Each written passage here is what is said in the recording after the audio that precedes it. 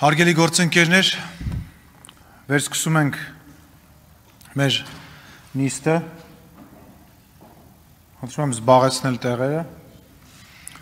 Այժմ ներկա իրավիճակը ներկայացնելու համար ձայնը տրամադրում եմ Հայաստանի Հանրապետության վարչապետ Նիկոլ Փաշինյանին։ Համեցեք, պարոն վարչապետ։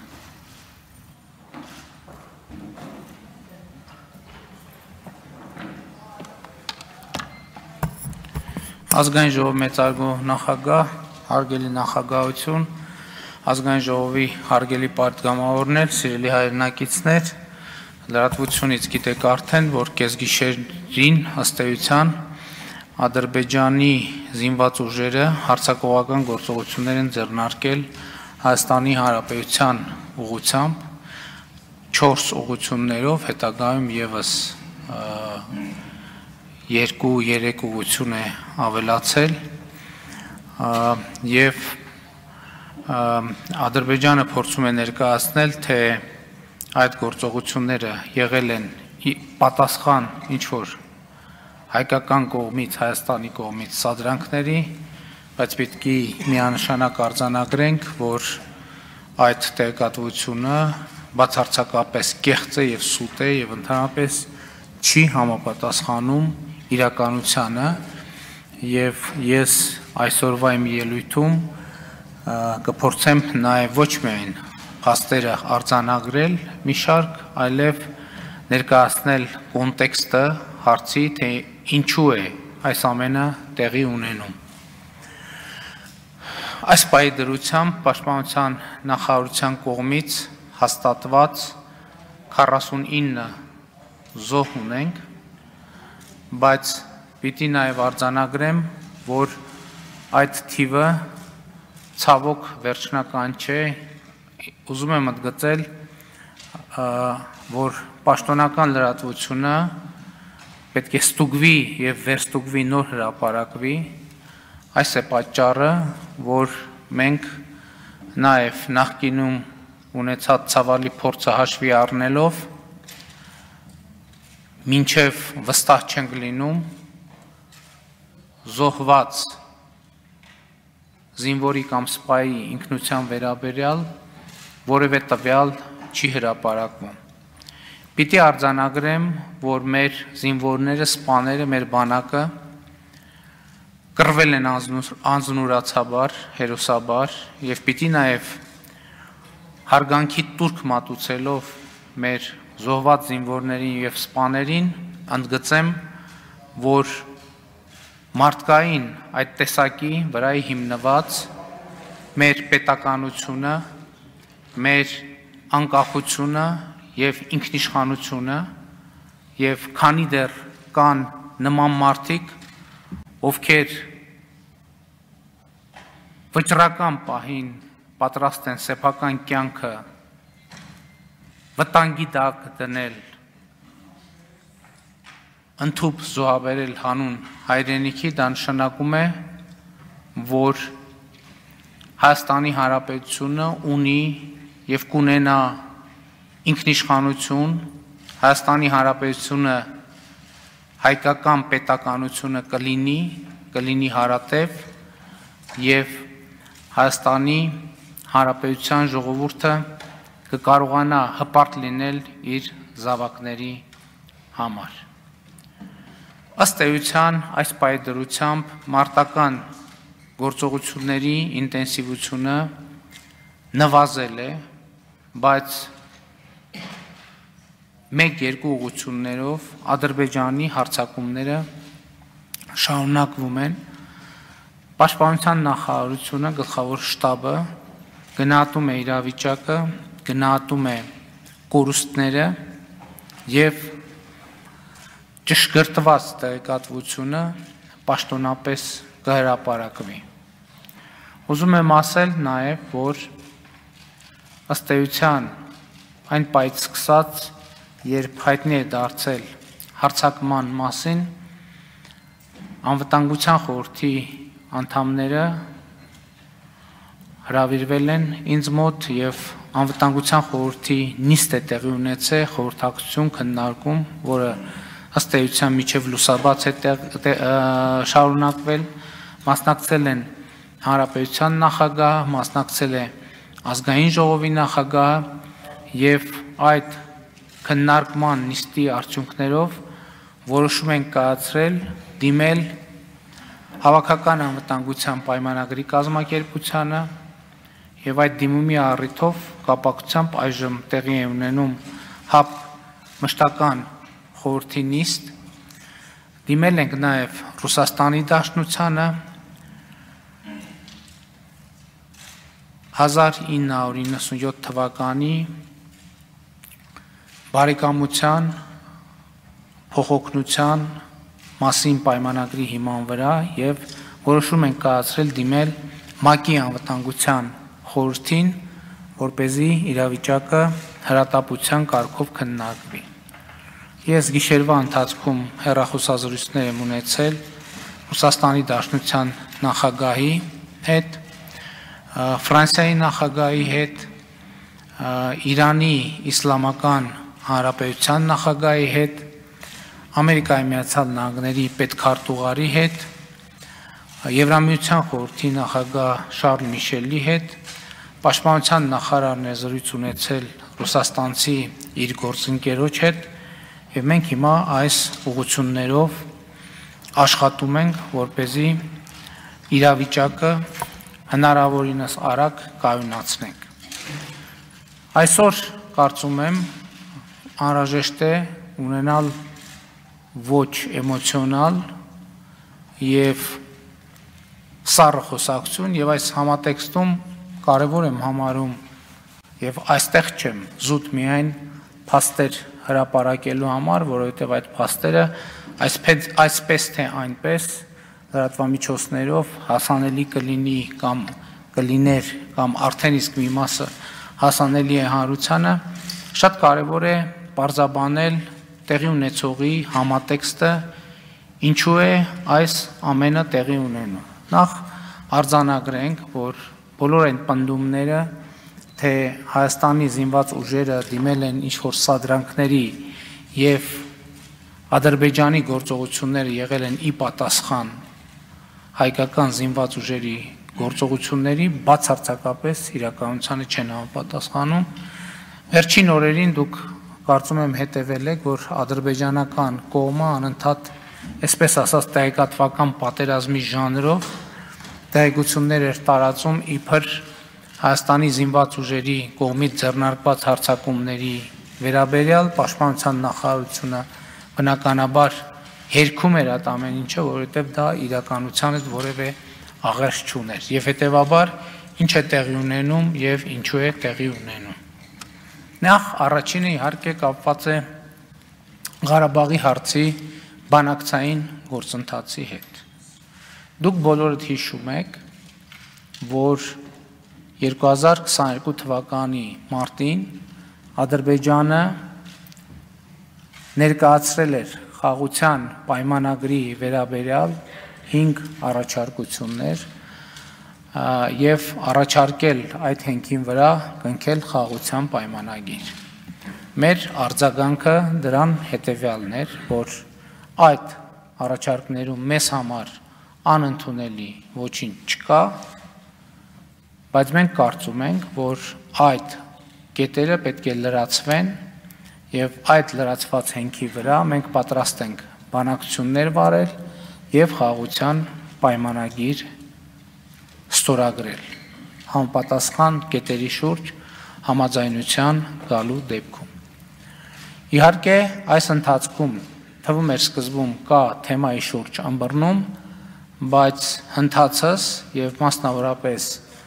վերջին բրյուսելյան հանդիպման ընթացքում պարզվեց եւ պարզաբանվեց, որ այնուամենայնիվ Ադրբեջանը հրաժարվում է խաղության բանակցությունները վարել նաև մեր ներկայացրած սկզբունքների հիման վրա հիշում եք, որ այդ սկզբունքների մեջ կար մի քանի կետեր, դրանցից մեկը 2020 թվականի նոյեմբերի 9-ի հունվարի 11-ի Երակոմ հայտարարության եւ նոյեմբերի 26-ի Երակոմ հայտարարությունների սկզբունքների պահպանումներ, հղում այդ սկզբունքներին եւ հայտարարություններին, հաջորդ կարևոր կետը վերաբերվում էր Լեռնային Ղարաբաղի ժողովրդի անվտանգությանը, իրավունքներին եւ դրանից բխող կարգավիճակին։ Ըստ էության Ադրբեջանի դիրքորոշումը, որը արտահայտվում է կամ արտահայտվել է բանակցային գործընթացում, հետեւյալն է, որ նրանք ասել են, որ չեն ուզում Հայաստանի հետ քննարկել Ղարաբաղի հարցը, որովհետև իրենց դիրքորոշումն այն է, որ Ղարաբաղի հարցը լուծված է կամ առնվազն դա Ադրբեջանի ներքին հարցն է, ներքին խնդիրն է եւ իրենք չեն ուզում այդ հարցը քննարկել Հայաստանի Հանրապետության հետ։ Բայց պատմությունը սրանով չի ավարտվում, որովհետեւ մենք նախկինում էլ ասել ենք եւ ասում ենք, որ ինչպես ընդգծեցի, Ադրբեջանի կողմից առաջարկված այն սկզբունքներից մեկը, օրինակ, որը վերաբերվում է տարածքային ամբողջականության փոխադարձ ճանաչմանը, մեզ համար անընդունելի չէ եւ ընդունելի է։ Եվ այստեղ ամեն ինչ չի ավարտվում, որովհետեւ լրացուցիչ պարզաբանումների անհրաժեշտություն է առաջանում։ Իսկ օրինակ ինչ նկատի ունենք տարածքային ամբողջականություն ասելով։ Այսինքն օրինակ Ադրբեջանը Հայաստանի տարածքային ամբողջականություն ասելով արդյոք նկատի է ունենում նաև այն տարածքները, որոնք կամ 2021 թվականի մայիսի 12-ի իրադարձությունների արդյունքում կամ առաջին Ղարաբաղյան պատերազմի ընթացքում օկուպացվել են Ադրբեջանի կողմից։ Արդյոք Ադրբեջանը նկատի ունի նաև այս տարածքները Հայաստանի Հանրապետության։ Այս հարցը համենայն դեպս մեր տպավորություններով եւ քննարկումներով միանշանակ արձագանք Ադրբեջանի կողմից չի ստանում։ Հաջորդ խնդիրը հետևյալն է, բնականաբար Ադրբեջանը ակնկալում է, որ Հայաստանի Հանրապետությունը Լեռնային Ղարաբաղը ճանաչի որպես Ադրբեջանի մաս, ինչը տրամաբանորեն բխում է իրենց քիչ առաջ իմ հիշատակած ընդգծումից այսինքն իրենց դիրքորոշման ձևակերպումից։ Հաջորդ հարցը, որ ցակում է հետեւյալը, որ արդյոք ենթադրենք այս երկու խնդիրների լուծումից հետո Հայաստանը եւ Ադրբեջանը, եթե տեսականորեն լինի այդպիսի ըմբռնում եւ արձանագրում, արդյոք դա նշանակում է, որ Հայաստանը եւ Ադրբեջանը կամ մասնավորապես Ադրբեջանը Հայաստանի նկատմամբ որևէ տարածքային պահանջ չունի եւ չի ունենալու։ Խոսակցության եւ քաղաքական դիրքորոշումների արձանագրման համատեքստում հնչում է, որ այո, Ադրբեջանը Հայաստանի Հանրապետության նկատմամբ տարածքային պահանջներ չունի։ Բայց երբ խոսակցություն է գնում օրինակ դեմարկացիայի եւ դելիմիտացիայի գործընթացի մասին, ակնհայտ է դառնում, որ Ադրբեջանը պատրաստվում է դեմարկացիայի եւ դելիմիտացիայի գործընթացների համատեքստում որոշակի խնդիրներ բարձրաձայնել իր ձևակերպամբ եւ բնորոշմամբ ապորինի ձևով իր ձևակերպում, խնդրում եմ ուշադրություն դարձնել, իբր ապորինի ձևով Հայաստանին Հանրապետ Հայաստանի Հանրապետությանը հանձնված որոշ տարածքների վերաբերյալ եւ այդ տարածքների անունները նրանք իրենց հրաապարակային ելույթներում արձանագրում են ասում են, խոսում են այդ տարածքների մասին, չնայած մեծ հաշվով պիտի արձանագրենք նաև, որ երբ որ նման բովանդակությամբ հարցազրույցներ կամ հայտարարություններ են հնչում, նրանք երբեմն սկսում են նռնաձորից, շարունակում են Զանգեզուրով կամ Սյունիքի մարզով եւ ավարտում են Հայաստանի մայրաքաղաք Երևանում։ Ես ուզում եմ ընդգծել, որ եթե սրանք լինեին պարզապես հարցազրույցներ եւ հայտարարություններ, կարելի էր դրան նույնիսկ չանդրադառնալ։ Բայց բոլոր փաստերը, այդ թվում դիվանագիտական փաստերը, այդ թվում բանակցային փաստերը վկայում են, որ սա հետևողական քաղաքականություն է Ադրբեջանի կողմից։ Ինչ վերաբերվում է Լեռնային Ղարաբաղի հիմնախնդրին, արդեն ասացի, որ նրանց դիրքորոշումը գնալով ավելի ու ավելի հստակ է դառնում, որ Լեռնային Ղարաբաղի խնդիր չկա, Լեռնային Ղարաբաղի խնդիրը լուծված է եւ հետեւաբար Հայաստանի Հանրապետության հետ քննարկելու անհրաժեշտություն չկա եւ այդ հարցը իրենք կարող են քննարկել միջազգային կազմակերպությունների հետ նաև չի բացառվում իրենց ձևակերպմամբ Լեռնային Ղարաբաղի հայերի ներկայացուցիչների հետ Ադրբեջանի համադրության շրջանակներում Ուրեմն հաջորդ կարևոր խնդիրը, որը ել եմ ասում, ես ոչ թե ուզում եմ ասել, որ այ այս գործողությունները կոնկրետ ուղված են այս կամ այն հարցի իմ հիշատակած լուծմանը, ես ուզում եմ ասել, որ այս իրադարձությունները լարում ընդհանրապես ունի համատեքստ եւ համատեքստը բաղկացած է որոշակի բովանդակությունից եւ ես ձեզ եւ մեր ժողովրդին հարկ եմ համարում ներկայացնել այդ բովանդակությունը։ Հաջորդը կոմունիկացիաների բացման թեման է եւ գիտեք, որ Ադրբեջանը այլակերպելով 2020 թվականի նոյեմբերի 9-ի հայտարարությունը խոսում է Հայաստանի տարածքով միջանցքներ կամ միջանցք ունենալու մասին։ Միջանցք ասելով իհարկե հասկացվում է այսինքն կոնտեքստը པարզ է հարցի, ես դա չեմ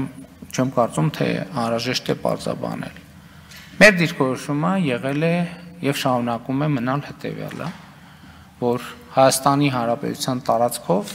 մենք չենք պատրաստվում որևէ մեկին միջանցք տրամադրել, բայց մենք ընդունում ենք եւ նույնիսկ շահագրգռված ենք Հայաստանի Հանրապետության տարածքով նաև ճանապարհների բացմանը եւ ապաշրջափակմանը այն տրամաբանությամբ, որ այդ ճանապարհներից կարող են օգտվել տարածաշրջանի բոլոր երկրները, այդ թվում Հայաստանը, այդ թվում Ադրբեջանը, եթե հիշում եք, նոյեմբերի 9-ի Երակոմ հայտարարության մեջ հստակ նշված է 9-րդ կետը ըստ էության առաջին նախադասությունը նաև ապաշրջափակման մասին է, Այսինքն տարածաշրջանի տնտեսական եւ տրանսպորտային հաղորդակցությունների, ուղիների կապերի ապաշրջափակման, բացման, վերաբացման մասին եւ գիտեք նաեւ, որ թեման բարձաբանված է 2021 թվականի նոյեմբերի 11-ի Երակոմ հայտարարությամբ եւ արձանագրված է, թե ինչ գործողություններ պետք է իրականացնել նոյեմբերի 9-ի Երակոմ հայտարարության 9-րդ կետը կյանքի կոչելու համար եւ մենք ասել ենք եւ շարունակում ենք ասել, որ մեզ համար ընդունելի է այն տրամաբանությունը, որը քննարկվել է, արձանագրվել է 2021 թվի հունվարի 11-ի Երակոմ հայտարարության մեջ եւ նաեւ Երակոմ աշխատանքային խմբում եւ գիտեք նաեւ որ Երակոմ աշխատանքային խմբի Ռուսաստանցի համանախագահողը Ալեքսեյ Օվերչուկը նաև Հայաստանում հրաապարական հայտարարություն է արել, որ աշխատանքային խմբի պայմանավորվածություններն են, որ նոր բացվող ճանապարհները պետք է գործեն այն երկրների սուվերենության ներքո, որոնց տարածքով նրանք որոնք որոնց տարածքով նրանք անցնում են։ Հաջորդ նրբությունը, որի մասին ես կուզենամ նշել, որ เป զի մեզ տեղի ունեցողի կոնտեքստը ավելի հասկանալի լինի 2020 թվականի 44 օրյա պատերազմից հետո Ադրբեջանը մի քանի անգամ հայտարարել է, որ եթե տեսնի, որ Հայաստանի զինված ուժերը եւ բանակը որոշակի պոտենցիալ է հավաքում, որը իր ձևակերպմամբ կարող է վտանգ սպառնալ Ադրբեջանին, իրենք նախահարցակ գործողություններ են իրականացնել։ Չնայած այն բանին, որ մենք հայտարարել ենք եւ դա արձանագրված է նաեւ մեր պաշտոնական փաստաթղթերում, մենք զինված ուժերի բարեփոխումներ ձեռնարկում ենք ոչ թե տարածքներ գրավելու կամ նվաճելու համար, այլ Հայաստանի Հանրապետության ինքնիշխանությունը, տարածքային ամբողջականությունը պահպանելու եւ պաշտպանելու համար այնուամենայնիվ այն փուլերում երբ որ մենք այսպես ասած կենտրոնանում ենք զինված ուժերի եւ բանակի բարեփոխումների թեմայի վրա ահա ժամանակներում նաեւ նման սադրանքները իրականացվում են նաեւ process-ը արդեն հայտարարված օրակարգով խոչընդոտելու համար Եվ սա կարևոր նրբություններից եւ առանձնահատկություններից մեկն է։ Հաջորդ կարևոր նյուանսը, որի մասին ես կցանկանայի խոսել, այն մասին է, որ այնուամենայնիվ 2020 թվականի 44-օրյա պատերազմից հետո ինչքան էլ այդ մասին ամենատարբեր հայտարարություններ են հնչել նույնիսկ Հայաստանի ներսում ակնհայտ է, որ այդ պատերազմի արդյունքում այո մենք ծանր ծանր կորուստներ ենք ունեցել, բայց Հայաստանի Հանրապետությունը այդ պատերազմի արդյունքում չի կոտրվել, եթե թույլ կտակ նման ձևակերպում այս ամբիոնից անել։ Ավելին, այն ժամանակ հայտնի հայտնի այսպես ասած մտնոլորտի եւ սոցիալ հոգեբանական միջավայրի պայմաններում ըստ էության նոյեմբերի 9-ի Երակոմ հայտարարությունը հայկական միջավայրում եւ Հայաստանում որոշակիորեն, այսպես ասած, շատ նեգատիվ լույսի ներքո ներկայացվեց եւ այնպես չէր, որ մենք երջանիկ էինք կամ երջանիկ ենք այդ հայտարարությամբ բայց ես այդ թեմային չէի անդրադարձել երկար ժամանակ, բայց ի վերջերս կարևոր համարեցի ընդգծել, որ այդ հայտարարության մեջ կա 3 գումարած 1 կարևոր ինստիտուցիոնալ արձանագրում։ Առաջինը Լեռնային Ղարաբաղ սուբյեկտի արձանագրումն է։ Այն պայմաններում, երբ Ադրբեջանը ասում է, որ Լեռնային Ղարաբաղ գոյություն չունի։ Բայց մենք ունենք գործող փաստաթուղթ, որի ներքո դրված է նաև Ադրբեջանի ստորագրությունը, որտեղ արձանագրվում է, որ Ա կա Լեռնային Ղարաբաղ, այդ Լեռնային Ղարաբաղ միավորը բարփակված է որոշակի գծով, որը փաստաթղթում անվանված է շփմանգից, կան տեղակայված ռուս խաղապահներ, որոնց ներկայության իմաստը եւ տրամաբանությունը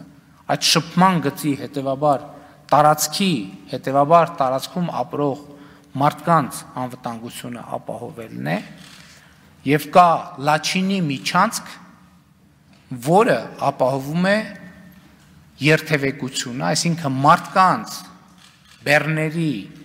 անարգել երթևեկությունը, հաղորդակցությունը Լեռնային Ղարաբաղի եւ Հայաստանի միջև։ Եվ ես ձեզ ուզում եմ մի այսպիսի նրբություն ասել, դուք տեղյակ եք, որ վերջերս նաև անվտանգության խորհրդի քարտուղարը այցելել էր Լեռնային Ղարաբաղ եւ ազգային ժողովի падգամավորներ այցելել էին, որին եղավ արձագանք հերթական անգամ Ադրբեջանի կողմից։ Մենք նախկինում դա արձանագրել ենք եւ հիմա էլ պետք է արձանագրենք, որ Երակոմ հայտարարությամբ հստակ արձանագրված է, որ Լաչինի միջանցքի գոյության իմաստը Լեռնային Ղարաբաղի եւ Հայաստանի միջև մարդկանց եւ բեռների, այսինքն կապը ապահովելն է Լեռնային Ղարաբաղի եւ Հայաստանի միջև կապը ապահովելն է։ Եվ Ադրբեջանի նմանատիպ դիրքորոշումները ընդհանրապես տրամաբանական չեն, որովհետեւ մեր մեջ ասած այդ հայտարարության մեջ չկա որևէ սահմանափակում, թե ովքեր կարող են գնալ Լեռնային Ղարաբաղ եւ ովքեր չեն կարող գնալ Լեռնային Ղարաբաղ։ Եվ նախկինում էլ մեր միջազգային մի շարք գործընկերներ այս մասին բարձրաձայնել են եւ խոսել են։ Սա ինչի համար եմ ուզում ասել, որ վերջին շրջանի գործողություններում նկատելի է, որ Ադրբեջանը փորձում է այսպես ասած շրջանառությունից եւ հանել եւ այս եթե կարելի է այսպես ասել արխիվային նշանակություն տալ նոյեմբերի 9-ի Երակոմ հայտարարությանը եւ այս սադրանքների կոնտեքստում նաեւ այս մղումը եւ նպատակն է երևում հաջորդ ոչ կարևոր իմ կարծիքով եւ իմ գնահատմամբ հանգամանքը որը շարունակում է այս մասում իմ ասածը հետեւյալն է որ այնուամենայնիվ ակնհայտ է, որ իհեճուկս գլոբալ դժվարությունների Հայաստանը ունի շատ հստակ որոշակի տնտեսական հաջողություններ եւ նաեւ այս համատեքստում իհարկե ոչ անմիջականորեն, բայց շատ կարեւոր եմ համարում, որ երկու օր առաջ, մի քանի օր առաջ հրապարակվեց տնտեսական ազատության ինդեքսը, որտեղ Հայաստանի Հանրապետությունը զբաղեցնում է 11-րդ տեղը աշխարհի 165 երկրների շարքում։ Եվ այս սադրանքը նպատակ ունի նաև Հայաստանի տնտեսական դինամիկան կոտրելու, որովհետև տնտեսական դինամիկան միայն ուղակի վիճակագրական թվեր չեն, դրանք նաև որոշակի հնարավորություններ են զարգացման եւ գործերի իրավիճակը բարելավելու։ Կա մի հարց, որը ենթադրում եմ, որ կհնչի եւ ես եմ ուզում անդրադառնալ այդ հարցին։ Հարցը հետեւյալի մասին է. Արդյոք սա է խաղության օրակարգի արդյունքը եւ արդյոք այն ինչ որ տեղի է ունենում խաղության օրակարգի ձախողում չէ։ Մենք բազմիցս ենք ասել, որ մենք որթեգրելով խաղության օրակարգը նաև արձանագրում ենք եւ հասկանում ենք, որ դա միայն մի սուբյեկտից կախված չէ։ Եվ ընդհակառակը այս գործողություններով նաև Ադրբեջանը ուզում է եւ փաստացի տորբետահարում է խաղության օրակարգը,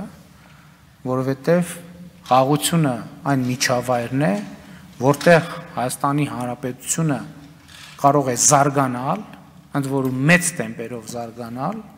եւ խաղություն այն միջավայրն է, որը կարող է ապահովել Հայաստանի Հանրապետության եւ Լեռնային Ղարաբաղի անվտանգությունը։ Ես վերջերս Վլադիվոստոկում ունեցած մի ելույթում արձանագրեցի անդրադառնալով ընդհանրապես խաղաղության թեմային արձանագրեցի եւ այդ արձանագրման մեջ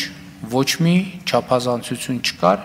որտեղ մենք հետևել ենք որ Ադրբեջանի ներկայացուցիչները նույնպես իրենք ասում են, որ իրենք խաղաղություն են ուզում։ Հիմա այստեղ հարց կարող է ցակել։ Մենք էլ ենք ասում, որ մենք խաղաղություն ենք ուզում։ Հիմա կարող է հարց ցակել, ով է, որ այստեղ այնքան էլ անկեղծ չէ եւ ով է, որ ըստ էության այդ հայտարարություններով չի արտահայտում իր իրական ցանկությունները եւ մղումները։ Եվ պիտի վերահաստատեմ, որ Ասածս հասկանում եմ նաև, որ որոշակիորեն տարօրինակ կարող է թվալ, որ բոլորը ըստ էության ուզում են խաղաղություն։ Խնդիրն այն է, որ խաղաղություն ասելով յուրաքանչյուր սուբյեկտ կամ սուբյեկտների խմբեր հասկանում են պայմանների մի կոնկրետ որոշակի խումբ, հասկանում են խաղություն ասելով իրենց պատկերացումը խաղության եւ նրա պայմանների եւ խաղությունը տեղի չի ունենում այն ժամանակ, երբ այդ պայմանները եւ պատկերացումները կամ չեն համընկնում կամ հնարավոր չի լինում նրանց մոտեցնել գրեթե կամ համարյա համընկնման վիճակի եւ կարգավիճակի։ Եվ սա է ընթացիկ իրավիճակը, ինչ պետք է անենք մենք հետագայում ըստ էության մենք պիտի գնանք այս ճանապարհով։ Մենք պետք է բոլոր հնարավոր միջոցներով պաշտպանենք Հայաստանի Հանրապետության տարածքային ամբողջականությունը, ինքնիշխանությունը, անկախությունը։ Մենք պետք է բոլոր հնարավոր միջոցներով ձգտենք խաղության, փորձելով մոտեցնել պատկերացումները, եւ մենք պետք է բոլոր հնարավոր միջոցներով հնարավորինս արագ եւ արդյունավետ բարեփոխենք մեր բանակը, մեր զինված ուժերը Հայաստանի Հանրապետության անվտանգությունը ապահովելու համար եւ իհարկե մեր դաշնակցային հարաբերությունների եւ անվտանգային մեր հարաբերություններում մեխանիզմների հարաբերությունների եւ պարտավորությունների կատարելագործումը չափազանց կարևոր է այս համատեքստում որովհետև շատ կարևոր է, ինչպես նախկինում ասել եմ, հստակ հասկանալ, թե մեր նկատմամբ ով ինչ պարտավորություն ունի եւ մենք ուրիշների նկատմամբ ինչ պարտավորություններ ունենք։ Այսքանը հարգելի գործընկերներ, ելի եմ ասում ինձ համար այս ամբիոնից ելույթ ունենալու առավել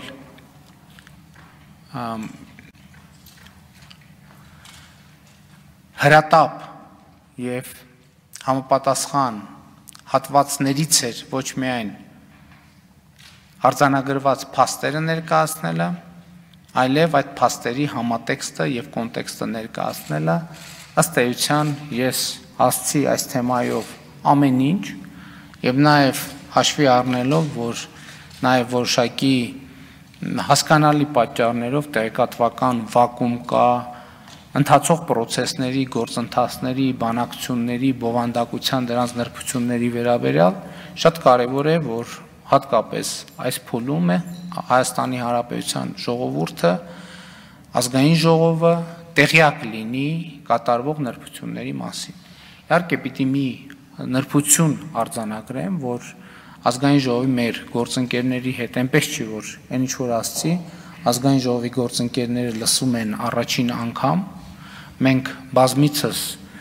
քաղաքացիական պայմանագիր խմբակցության ներկայացուցիչների հետ հանդիպումներ ենք ունեցել, քննարկումներ ենք ունեցել, բուրըն երբեմն քննարկումները մենք մի քանի անգամ պատրաստակամություն ենք հայտնել նաև խորհրդանական ընդդիմության ներկայացուցիչների հետ, այդ թվում դրմփակ ձևաչափով քննարկել եւ պատասխանել բարձացված բոլոր հարցերին։ Ես նկատի ունեմ Սա թերևս առաջի անգամն է, որ պաշտոնապես ազգային ժողովի ամբիոնից հնչում են մի շարք նրբություններ, չնայած մեծ հաշվով դրանցում գաղտնիքներ չկան, որովհետև ուշադիր դիտորդը եւ վերլուծողը այս բոլոր նրբությունները կարող էր տեսնել եւ նկատել, բայց այսպես համակցված կարծում եմ եւ պաշտոնապես առաջին անգամ ես հնչեցրեցի, որ เป զի իրավիճակը եւ նրա նրբությունները եւ խորությունը առավել բարձ դառնա։ Ես այժմ պատրաստ եմ պատասխանել ձեր բոլոր հարցերին, որտեղ կարծում եմ, որ ասվածը ոչ միայն պատասխանեց հարցերի, այլև առաջացրեց հարցեր։ Շնորհակալ։ Շնորհակալություն, հարգելի գործընկերներ, այժմ հարցեր